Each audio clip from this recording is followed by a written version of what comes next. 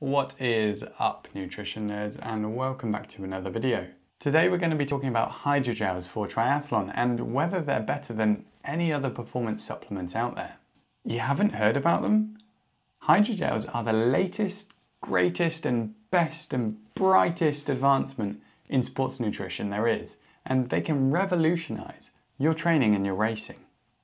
Or can they?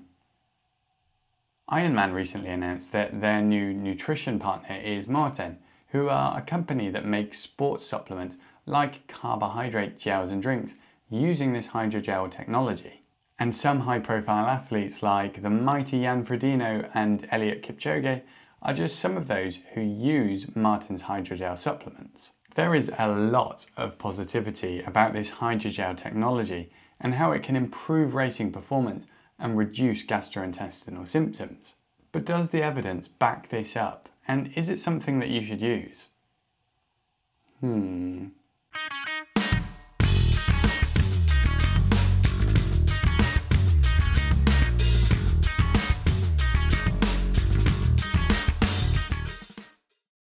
So, hydrogels. There's a lot of hype and positive stories about them. And if you're going to be doing an Ironman event anytime soon, then they'll be commonplace. So let's give you a bit of an evidence-based nutrition run through, shall we? Let's start with what you're probably wondering first and foremost.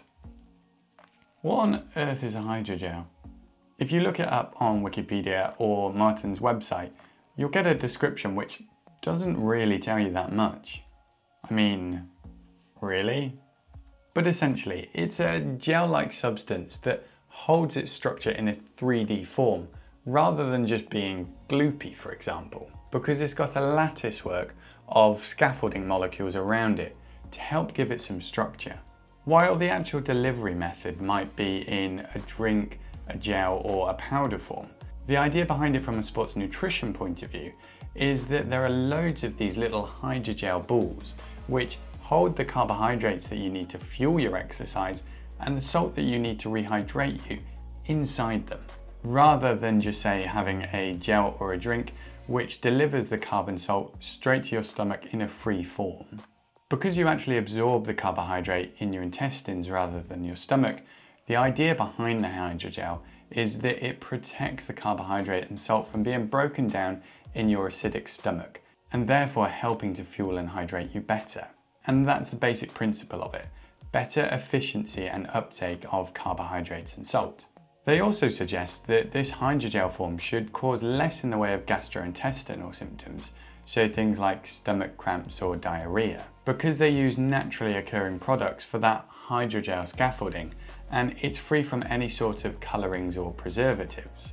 So that sounds pretty awesome to me and I can definitely get on board with the theory of it. But let's look at the evidence for this because that's why you're here, right? You want to know the truth behind the advertising I know you do. The best information we have on this topic to date is a review which was published in the Journal of Sport Nutrition and Exercise Metabolism by King and colleagues. They looked at the current studies which compare this hydrogel formula to other forms of supplements providing carbohydrates for athletes. And to date, there are currently six studies which fit this bill, and that's four on cycling, one on running, and one on cross-country skiing. While the studies all differed in their exact testing protocol, the amount of carbohydrates they used, and the exercise, they all had similar themes. They all had a steady state period of exercise for at least 90 minutes and then some sort of performance test afterwards. So a time trial, time to exhaustion, or repeated sprints. So while they're all different, they give us some good variety and some insight into what might be going on. Now, what were the findings? Well, overall, there wasn't really much in the way of benefit for hydrogels. And to say there wasn't really much in the way of benefit, there was really no benefit at all. Over these six studies, there wasn't any statistically significant improvements in performance in the hydrogel groups compared to the supplements that provided carbohydrates in a different form, like your standard liquid or gel. But importantly, they didn't show any worsened performance. And there wasn't really any difference in gastrointestinal symptoms either. So it didn't really back up that claim that the hydrogel technology can reduce gastrointestinal symptoms. So, what does this mean? Are hydrogels pointless and it's all just commercial hype? Nope. There might be a few different reasons why these studies didn't show a benefit in the hydrogel groups compared to the other carbohydrate supplements. It may be that the studies were too small to show a difference, or perhaps the right amount of carbohydrates weren't used, or maybe that the testing protocol or the performance test wasn't rigorous enough to show the true potential benefits of the hydrogels. Just because the studies didn't find anything doesn't mean that the difference isn't there.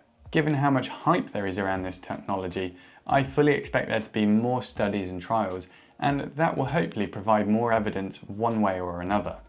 So the important question, do the results mean that you shouldn't use hydrogel technology and just ignore it? Again, nope. And there are a few reasons for this too. Firstly is that everyone is individual. I know a few people who swear by Maurten products, and they're the only ones that don't give them cramps or stomach upset. But then I know others who love other products, and they won't change. Everyone will get on well with different products, and if you find that hydrogels work for you, then I would encourage you to stick with them, especially as there's no negative performance benefits that's been shown so far. Secondly, if you're planning on racing an Ironman event and you know that there are going to be Maurten products there and you're planning on using them, then it's a great idea to practice. It's so important to practice your race day nutrition.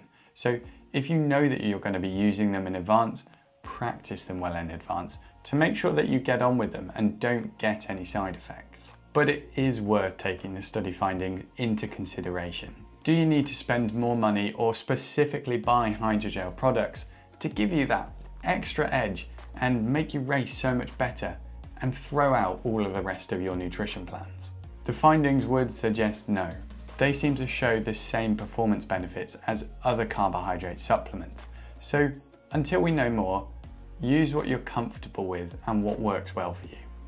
And as a bit of a disclaimer for you guys, I've got some Maurten stuff here. So I've got some of their drink mixes and one of their gels.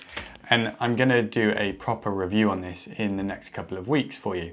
But I'm not affiliated with them in any way and I'm not sponsored by them. And I want to make sure that I just give you the best up-to-date information possible without trying to push any sort of products on because that is the whole point of Nutrition Triathlon, to give you the most up-to-date evidence-based information without any sort of agenda behind it. So that is a wrap guys, thanks for watching and I hope you found it useful. If you've got any questions then let me know and if you haven't already, press that thumbs up button for me and press subscribe to stay up to date with everything that I release and make sure you press that notification icon. And as it's race season, let me know if you've got any races coming up soon. I've got my first of the season next month and I am super excited. Not sure how it's going to go given I haven't really been able to swim, but we'll see. All right, I will catch you next time. See ya.